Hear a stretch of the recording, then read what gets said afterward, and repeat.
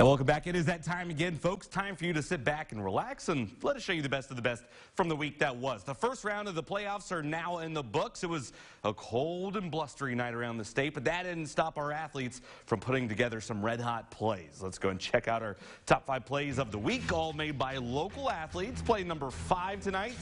Centennial may have been upset in what was a wild game against Urbandale, but what a year and what an athlete Avery Gates is. Takes this pass and turns upfield. Just stays on his feet near the end and dives for the goal line. A 56-yard touchdown. Take another look at that first juke.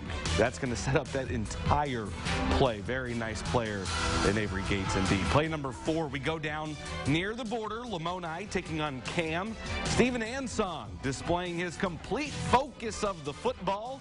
Nice recovery and catch. There's nothing I love more than these bang-bang plays. Ball is tipped up by Cam, but Ansong keeps his eyes on the football and snags that.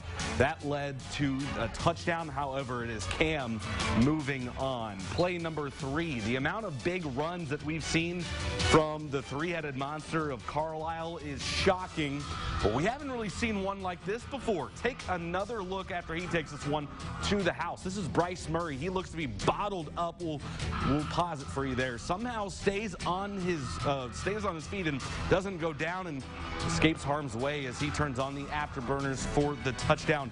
You don't get stopped more than that right there, but Murray somehow able to turn this one in for six. Just a heck, heck of a run. Play number two. All right, we mentioned it earlier. Could Earlham be that team of destiny this year?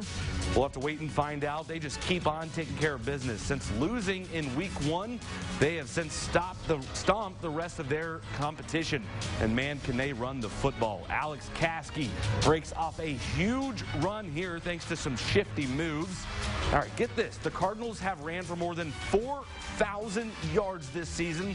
That is the most out of any team in the entire state across all classes. Well, we'll just have to wait and see what they can do. Finally, play number one in our local five, top five plays of the week. Jackson Daly pegs Fred Johnson in the back of the corner for the touchdown.